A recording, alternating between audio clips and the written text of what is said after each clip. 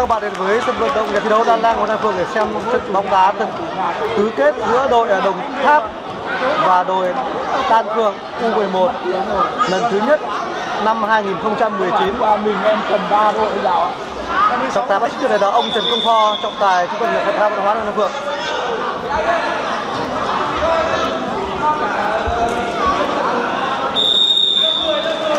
Đang làm thủ chào khán giả.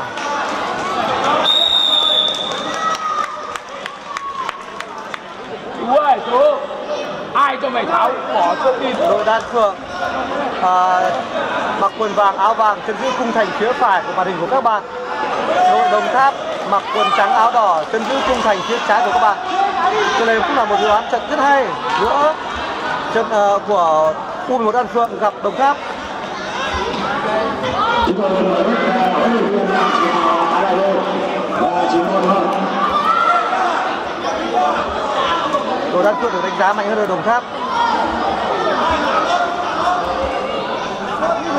ở Đồng Tháp có cầu thủ số 16 to cao rất nguy hiểm và thủ môn uh, bắt bóng rất tốt và có cầu thủ vào đâu làm hàng rào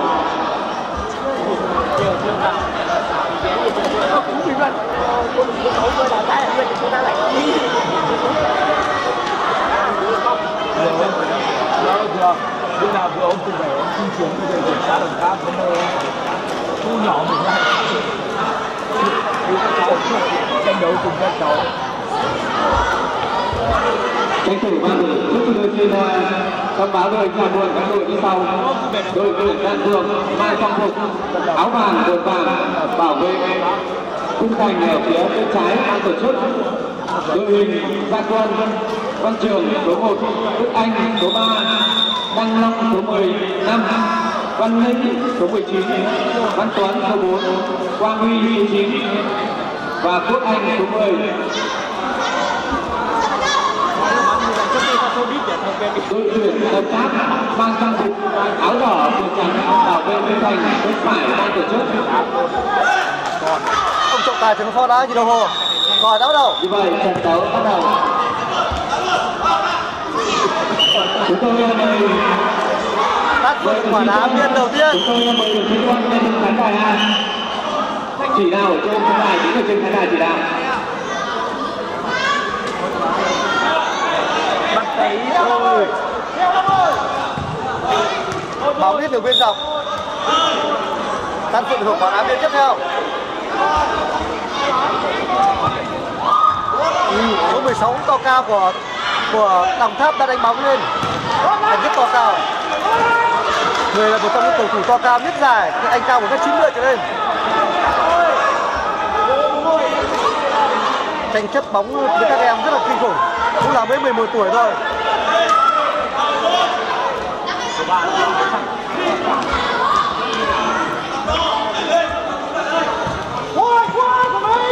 Em số 10 của đội Tân Hội xuống.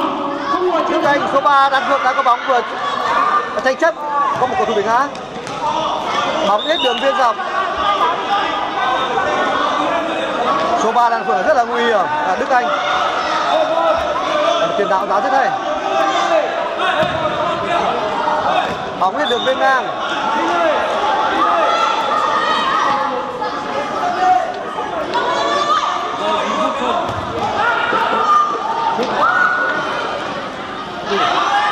Bóng vẫn còn trong khu vực nguy hiểm số 4 là vượng đá sâu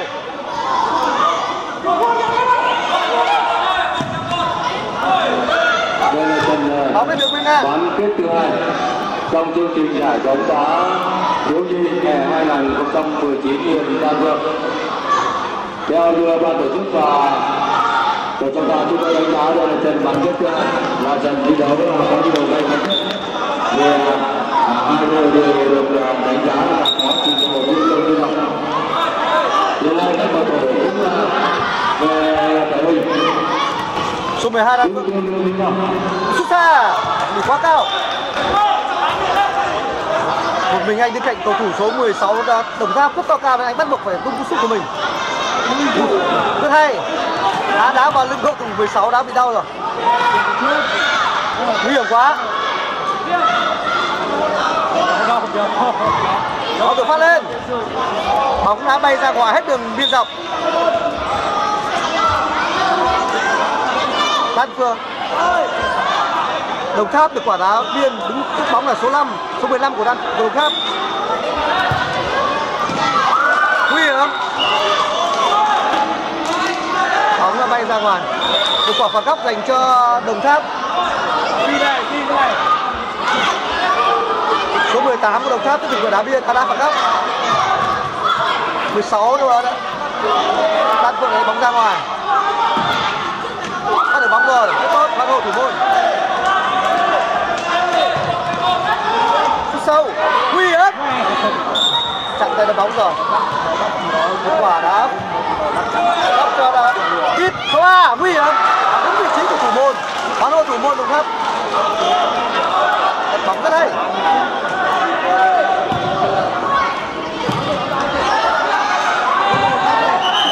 một cầu thủ của Đồng Tháp đã bị dẫn đau vào mũi rồi.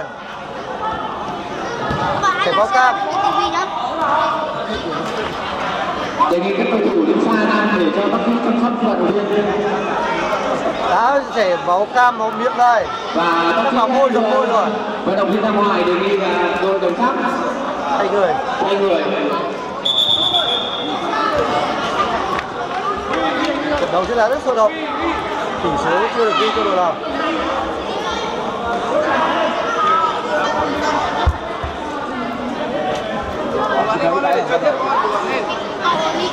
tại tài trần công phò đã nhìn đồng hồ.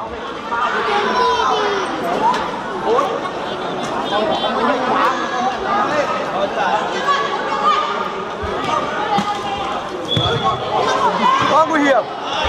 Số 16 của Đồng Tháp đã cắt một cú đá đầu tiên. Rất mạnh. Số 3 Đan Phượng Đức Anh rất nguy hiểm. Nó là cái trận cái trận cái nha thủ để tranh chấp với thủ môn. Nguy hiểm. Hai thủ môn ờ, đang đá bóng cho nhau. Lúc này hai thủ môn đang đá bóng cho nhau. Rất hay. Anh đã trượt rồi. Bóng bay ra ngoài đứng bên dọc. Đã Đan Phượng được quả đá biên số 3 số 3 Đan ờ, Phượng đã lên tấn công.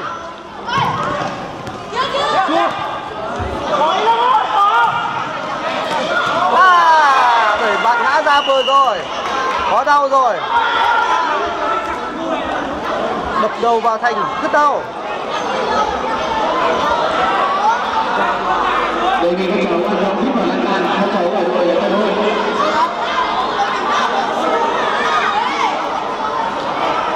các cháu là vận động viên chú ý những pha bóng không cần thiết là phải vào vậy vì vậy các cháu là chú ý khán giả hôm nay rất đông. Một cầu thủ đồng tháp đang bị đau. Đập ngã vào bờ của y tế chưa vào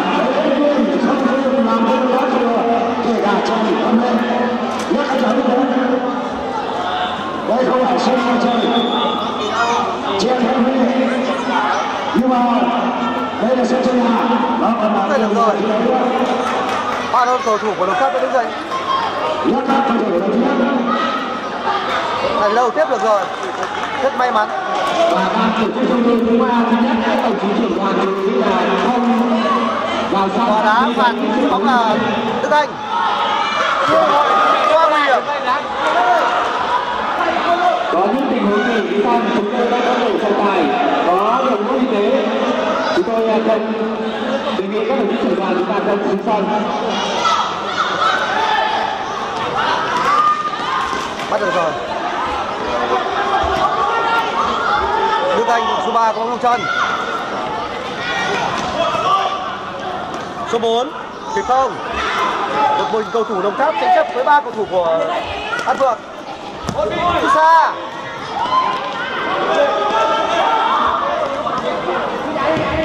Nguy hiểm, số 25 đồng tháp. Một mình tranh chấp với ba cầu thủ của an phượng. Số 16 bóng sút sâu đã chặt đây rồi. Một quả.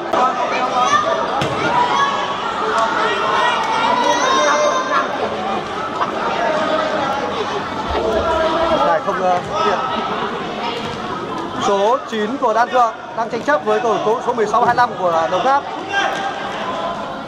Đức Anh. Số 9 Đan Phượng số 15 rất hay là Phượng nàng tấn công hay số 12 một sang cánh trái. Số 15 Đồng Tháp. Làm tranh chấp ta của thủ Đan Phượng. Cứ xa. Bóng đã đi hết đường biên ngang và có cú phạt góc. Đã chạm chân một cầu thủ Đồng Tháp. Chạm chân cầu thủ số 5 của Đồng Tháp.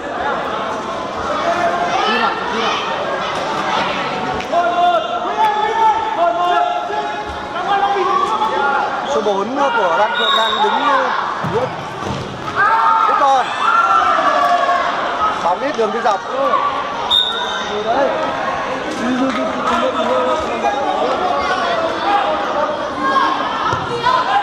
Nguy hiểm.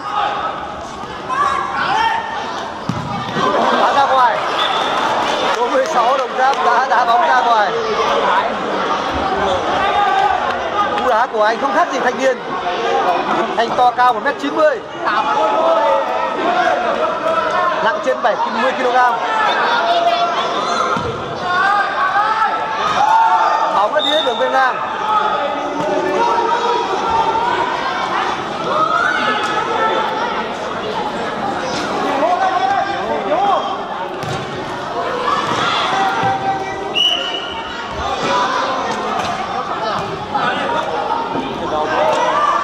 Quả đá biên. Đồng tháp dùng quả đá biên.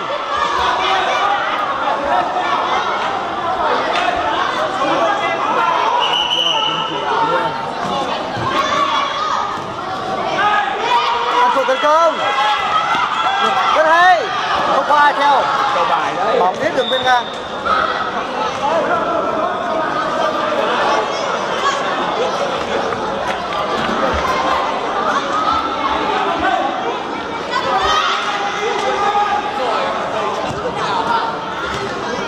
18 đồng tháp ngã rồi số 3 đã đẩy số 18 đồng tháp ngã và đồng tháp được hiệu quả đá phạt.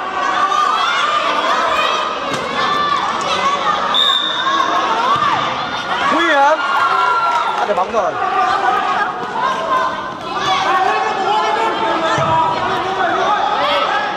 Bóng hết đường bên ngang bóng được ném lên đá lên.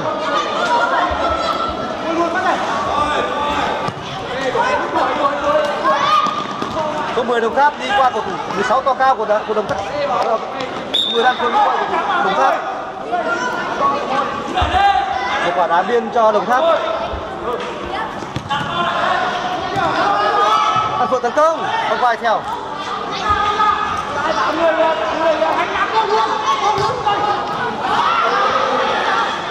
Một con số 9 đồng tháp, An Phượng, số 4 An Phượng.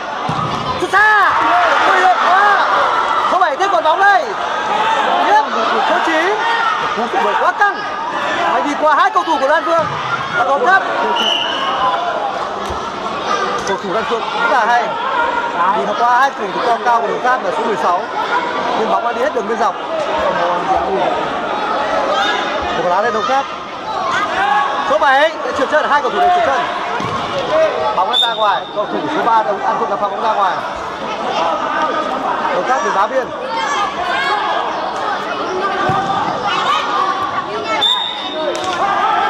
Bóng ra ngoài từ bên ngang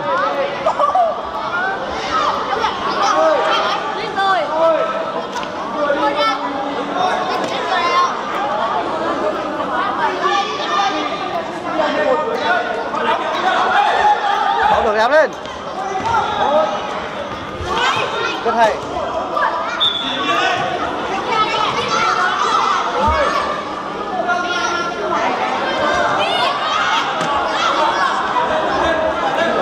Đá lên. Bóng hết đường biên ngang. Một quả đá phạt góc cho đồng tháp. Thiết nguy hiểm bóng hết đường biên ngang rồi. Bóng gió đã qua. Số ba Đức Anh. Từ sâu. Vẫn còn đá góc bóng đi hết đường bên dọc. 7 nguy hiểm nguy hiểm. Hút thang. Bóng đã có còi trọng tài Mẹ cứ bên kia còi bắt quá nguy hiểm. Số 7 đội đan phượng bé nhỏ nhưng rất nguy hiểm. Anh nhìn không to cao nhưng mà rất nguy hiểm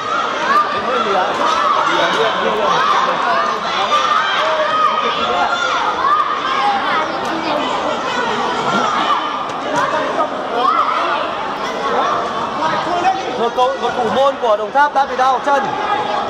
Y tế đã vào chăm sóc. Thủ môn này bắt rất hay.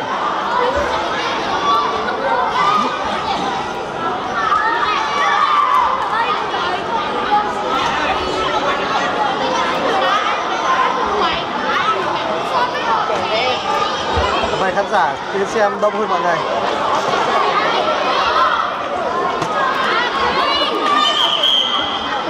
Trận đấu này tiếp tục.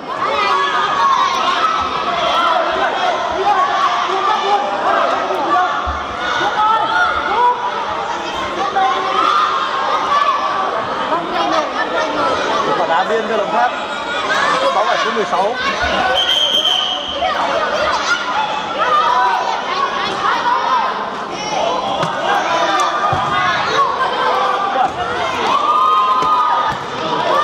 bóng tiếp tục bên dọc đan được quả đá biên. Số 7 là số đồng tháp số 15 đá biên. Bóng rồi. Số 9 là phương. Số 9 số 17 là pha bóng ra ngoài. Hai phượng quả đá biên.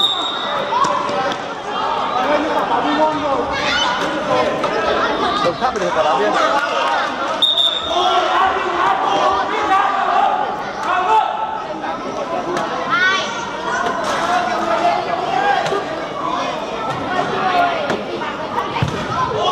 nguy hiểm quá nguy hiểm anh là tấn công. Rất hay. Số 10 rất hay. Rất hay. Vào không vào. Cơ hội 10 10 mà bóng lại ra ngoài. Messi số 7 đang Phượng cực đây Anh cao 87 phân. Kém công phượng 50 phân. Alo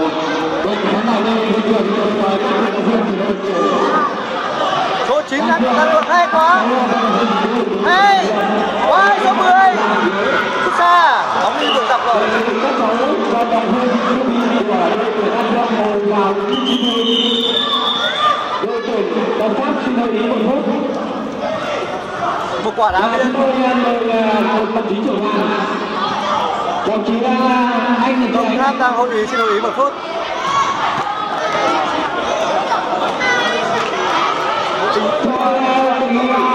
Tuyển đồng tháp chúng ta mời từ khán đài đây đồng chí anh Nhật Thành chúng tôi xin khen một đồng chí ở đây thôi trận đấu diễn ra rất sôi động. Là chỉ đạo không có tổ chức ra đây không vẫn là không không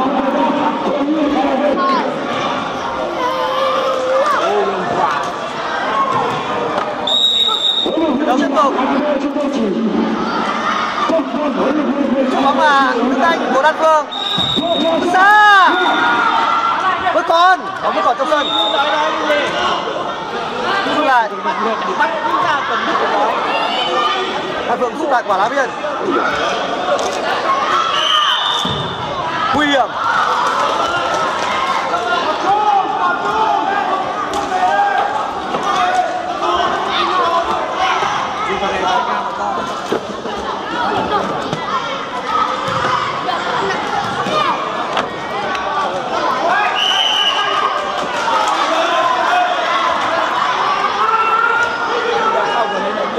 Tháp được quả lá biên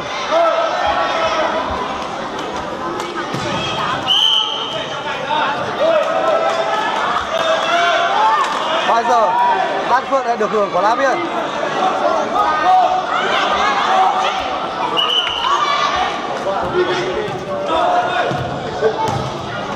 Bóng hết đường biên dọc. Lan Phượng được quả lá biên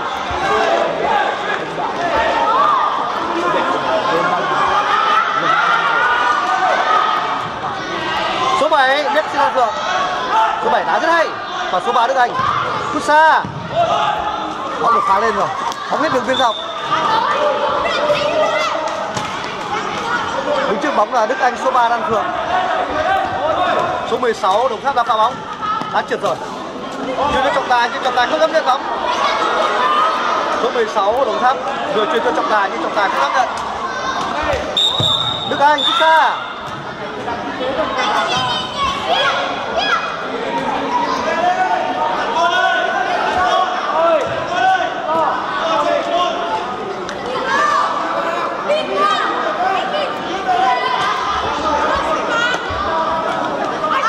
phạt cho Đồng Tháp, đá biên. Rất nguy hiểm.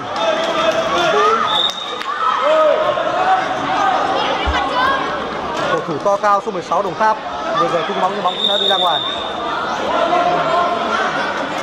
trường hợp của đá lên của Đan Phượng thủ môn. Nhắm lên. Bóng đã đi hết đường biên rộng. Một cú đá phạt rất gần khung thành của của, của pháp nguy hiểm. Có ai không? Kịp không? À, phá bóng ra ngoài. Số 5 được phát là bóng ra ngoài. Đan Phượng Đan Phượng được hưởng quả đá biên tiếp theo. Đức Anh sẽ được quả đá biên này số 3 đang thuận đá rất hay. Đá xa sau lưới rồi. Trận đấu diễn ra rất tốc độ.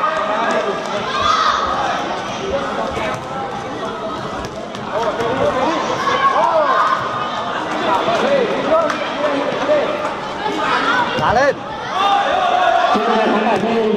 Bóng lên đường ngang. vận động viên của Đan Phượng bắt đầu lên đội số 6 đang vận động ra ngoài một các quả cháu vận động viên dự huy của đội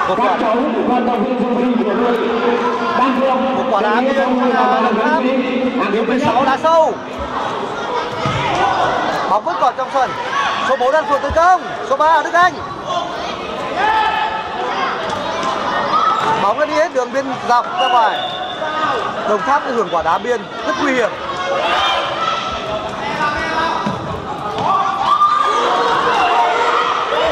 Đan Phượng tổ chức tấn công số 9 Đan Phượng đi qua người số 7 đã bị ngã rồi. Vẫn còn bóng. Vẫn còn bóng. Số 16 đã về cản phá kịp thời. 16 rất to cao của Đồng Tháp. Là đá biên lên Đồng Tháp đá lên. Số 16 đá lên. Rất hay. Số 7 Messi Đan Phượng đi qua được không? Tiếp số 4 Đan Phượng. Số 9 bóng vẫn còn trong sân. Bóng hết đường biên ngang quả phạt góc dành cho Đan Phượng. Sút xa. Nguy hiểm. Số 3 nước Anh rất thúc sút sút sút thẳng vào gôn nhưng bóng đã bay sang cửa dọc. Thằng nguy hiểm. Những đoạn của Đan Phượng là nước Anh số 3 và số 7 là hai cầu thủ đó rất hay. Rất tốt. Số 9 Đan Phượng. À có lỗi Đồng Tháp được quả đá biên đặc biệt là số 16 to cao Đồng, Đồng, Tháp đá đáng. Nguy hiểm lên. Trọng tài rất nhanh nhận là lẽ tránh được đòn bóng của cú bóng của người cầu thủ à, đan thượng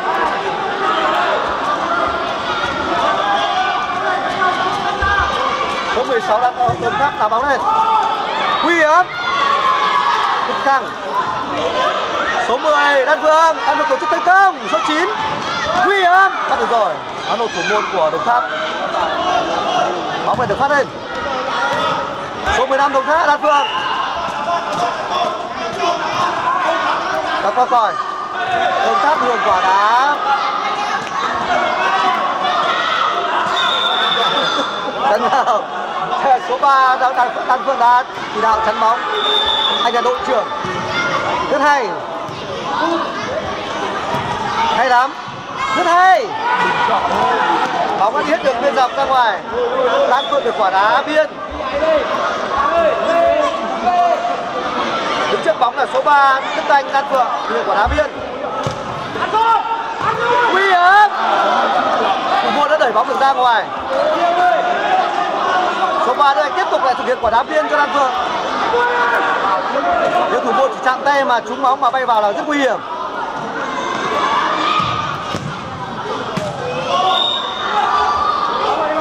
Một quả phạt góc tiếp theo cho đan phượng. Những tay thực hiện của đá phạt này.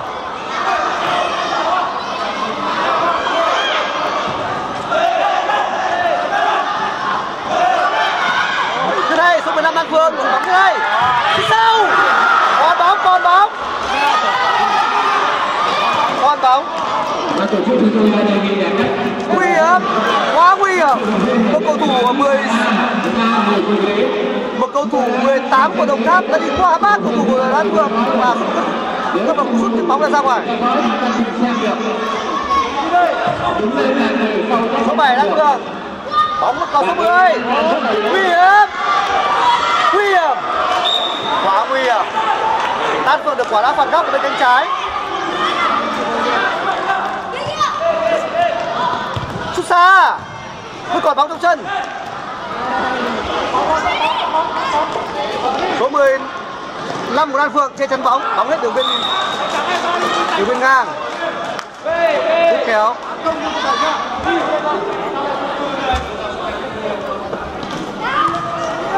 số 9 Đan Phượng có tranh chấp được số 16 không?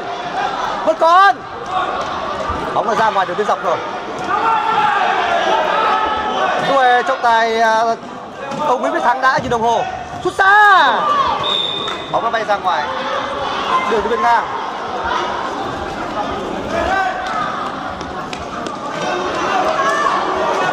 Tỷ số là không không nghiêng về hai đội. Hết giờ. Hết hiệp 1 và các bạn thấy phút để xem bóng hiệp 2 cảm ơn các bạn đã quan tâm chúng tôi. Xin chào các bạn.